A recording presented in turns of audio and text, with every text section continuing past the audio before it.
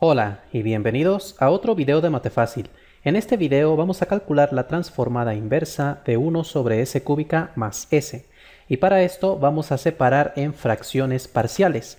Vamos a empezar escribiendo 1 sobre s cúbica más s y lo que tenemos que hacer es factorizar el polinomio que aparece aquí en el denominador.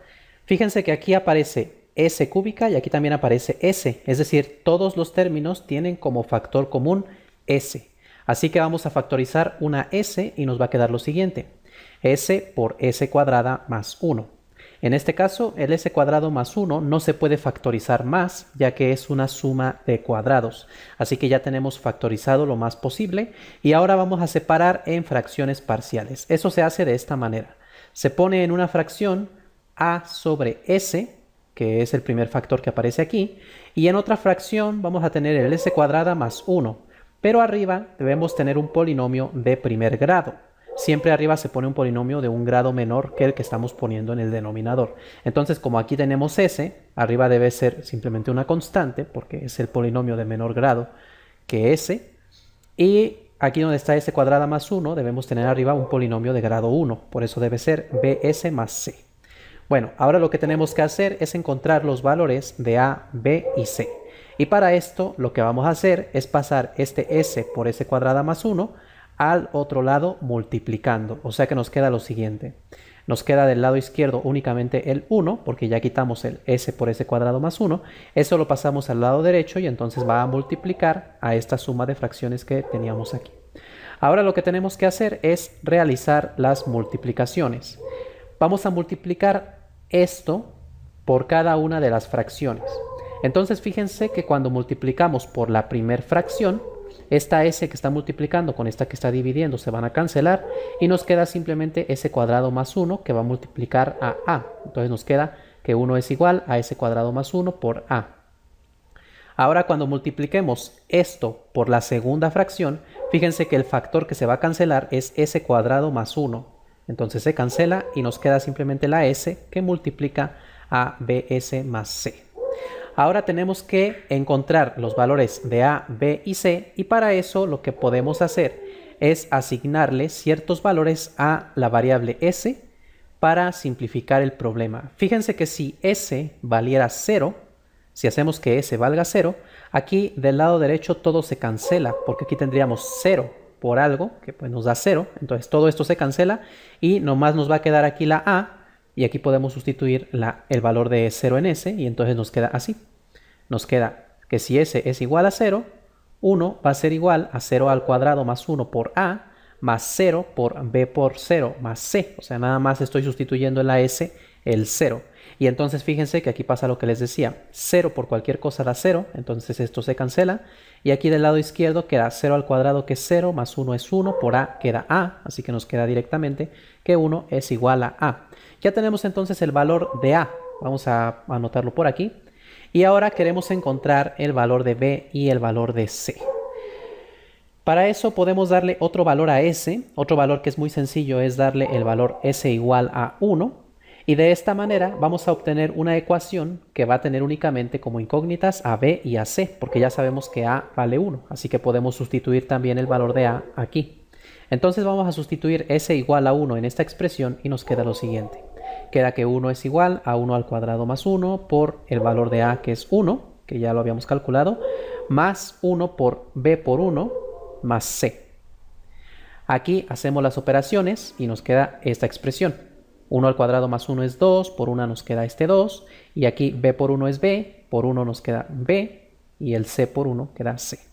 Este 2 que está aquí sumando lo pasamos restando al otro lado, y nos va a quedar entonces que b más c es igual a menos 1. Fíjense que también volteé la ecuación, o sea, teníamos aquí el 2 pasa restando, queda 1 menos 2 que es menos 1, entonces menos 1 es igual a b más c, que también lo podemos escribir al revés como que b más c es igual a menos 1. Bueno, ya tenemos una ecuación, pero tenemos dos incógnitas, por lo que todavía no podemos resolverla. Necesitamos otra ecuación con dos incógnitas para encontrar sus valores. Para eso vamos a darle otro valor a s, y de esta manera vamos a obtener otra ecuación con dos incógnitas.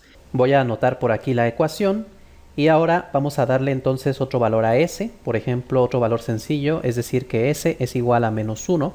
Sustituimos en la ecuación y nos queda entonces lo siguiente, que 1 es igual a menos 1 al cuadrado más 1 por a, que vale 1, y luego aquí más s, pero como s vale menos 1, entonces ponemos menos 1 por b por menos 1 más c. Ahora simplemente hay que simplificar esta expresión. Menos 1 al cuadrado es 1 positivo, más 1 nos queda 2, 2 por 1 es 2, así que nos va a quedar aquí un 2 simplemente. Y aquí fíjense que menos por menos da más, 1 por 1 es 1, por b queda b positivo, y menos 1 por c queda menos c. Igual que antes, este 2 lo pasamos restando al lado izquierdo y nos va a quedar entonces menos 1 y al voltear la ecuación la podemos escribir como b menos c igual a menos 1. Entonces ya tenemos dos ecuaciones con dos incógnitas. Ahora simplemente hay que resolver el sistema y así obtendremos el valor de b y c. Para resolver este sistema, fíjense que directamente podemos sumar estas dos ecuaciones y entonces se nos van a cancelar estas c de aquí al sumarlas, ponemos aquí una línea horizontal, sumamos b más b, nos queda 2b, más c menos c se cancelan, y menos 1 menos 1 nos queda menos 2. Este 2 que está multiplicando pasa dividiendo, y nos queda entonces que b es igual a menos 1. Ya tenemos entonces el valor de b. Para encontrar el valor de c, podemos sustituir el valor de b en alguna de estas dos ecuaciones. Por ejemplo, al sustituir en la primera ecuación nos queda menos 1 más c igual a menos 1, este menos 1 pasa al lado derecho como más 1 y menos 1 más 1 queda 0. Entonces C vale 0. Entonces ya tenemos el valor de A, de B y de C. Lo siguiente que hacemos es sustituir estos valores aquí donde separamos las fracciones y nos queda lo siguiente. Nos queda A sobre S, que es 1 sobre S, más, luego tenemos aquí BS, pero B vale menos 1, entonces va a quedar menos S, más c, pero como c vale 0, pues ya no se pone, entonces queda menos s sobre s cuadrada más 1. Ya tenemos entonces la separación en fracciones parciales, esta es la separación, y lo que vamos a hacer ahora es calcular la transformada inversa de esta suma de fracciones. Como ya hemos visto anteriormente, la transformada inversa de una suma se puede separar y entonces nos queda lo siguiente, nos queda la transformada inversa de la primera fracción que es 1 sobre s menos la transformada inversa de la segunda fracción que es s sobre s cuadrada más 1. Fíjense que puse el menos aquí porque más por menos da menos, entonces ese menos lo ponemos aquí afuera. Ahora simplemente debemos calcular estas dos transformadas inversas que se calculan muy fácilmente a partir de estas dos fórmulas. La transformada inversa de a sobre s es igual a a. En este caso fíjense que en lugar de a tenemos 1, entonces aquí la transformada inversa es 1 y para la segunda función, cuando tenemos s sobre s cuadrada más a cuadrada, la inversa es el coseno de a por t. Fíjense que en este caso a cuadrada vale 1, por lo que a es igual a 1. Si sacamos la raíz de 1 es 1. Entonces nos queda coseno de 1 por t, o sea que simplemente ponemos menos coseno de t. Este de aquí es el resultado entonces de la transformada inversa de esta fracción. De una manera similar se calcula la transformada inversa de Laplace de esta fracción de aquí.